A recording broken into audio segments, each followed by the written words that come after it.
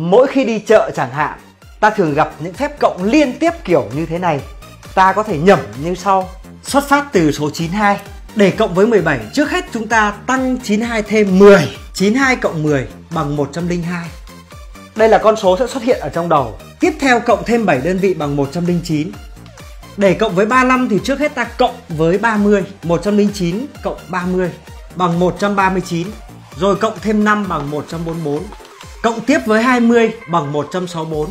Cộng với 8 bằng 172. Đây là kết quả 172. Khi ta nhẩm thì lần lượt những con số trên đây sẽ xuất hiện ở trong đầu. Ta thực hiện lại một lần nữa với phép tính sau. 42 cộng 30 bằng 72, cộng thêm 9 bằng 81, cộng thêm 50 bằng 131, cộng thêm 6 bằng 137, cộng 60 bằng 197. Cuối cùng cộng thêm 7 ta được 204.